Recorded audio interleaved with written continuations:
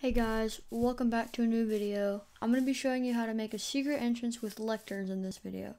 Basically, you're going to have to enter a specific combination to open the entrance. You're going to need two lecterns, 21 pieces of redstone, 16 redstone repeaters, 2 redstone torches, 3 redstone comparators, 1 observer, 1 hopper, 3 droppers, 2 sticky pistons. There we go um, a book and a quill, and a building block of your choice.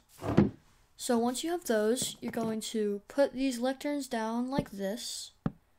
There we go. Uh, you can get rid of them now, we won't be using them anymore. Get your building block of your choice, and place it behind the lecterns like this. You might want to add one in the middle so it just looks flush. Okay, now you're going to put your comparators behind them Basically, what this is going to do is every time you put a book down, it emits a redstone output. And the comparator harnesses that output through the block. We're going to be using that to make the combination.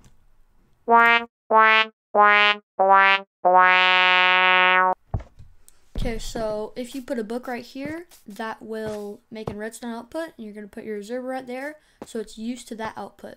That way, if you take it off, it will change the output. Okay, you're going to put your redstone dust here, your block here, and then you can remove the one on the bottom if you want. Uh, put your redstone dust here, and now you're going to be making a T flip-flop. So you're going to put your hot, your dropper on the bottom, there you go, and then put it sideways, and then you are going to put one facing down, and then put a hopper facing into the bottom dropper and then you're going to put a comparator right there. So basically what this is going to do is um, every time a redstone signal goes through it, it'll activate the comparator and it'll keep it there. Now you're going to put an item into the drop, the top dropper, put redstone dust on top, and if you do this, see, it makes a pulse and it actually stays in the comparator. So if you're using like a button or a limited output like an observer, then it'll stay there.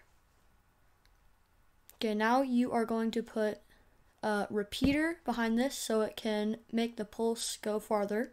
Redstone dust here, and then you're just going to put almost all of your repeaters in a line like I'm doing.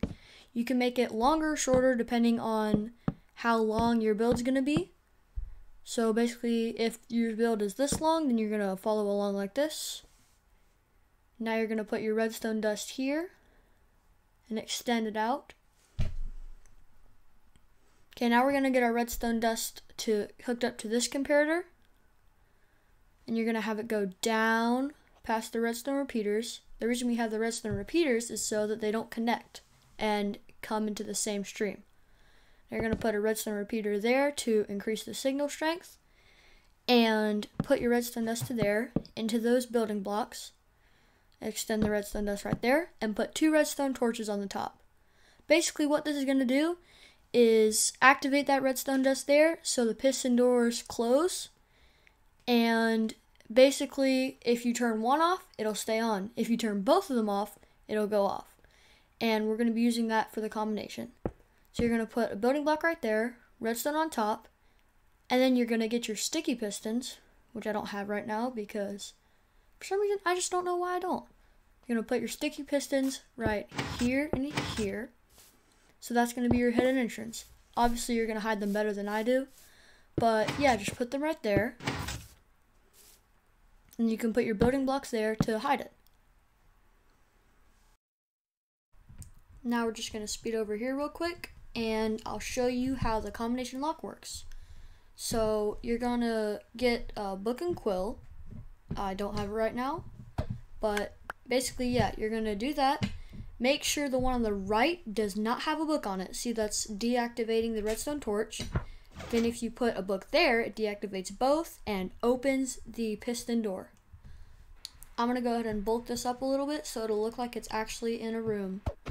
Okay, using editing magic, I have bulked this area up and see we can't get out. Even though we're in creative, we're just going to have to pretend that we can't get out. So the only way to get out is you doing the combination.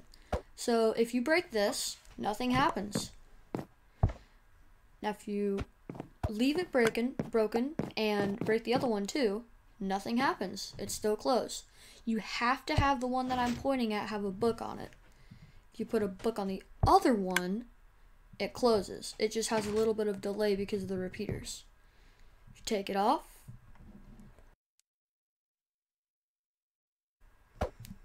then it will open. It'll just take a while because the repeaters. Like I said. So you can have this go into any base that you want. Thanks for watching, guys.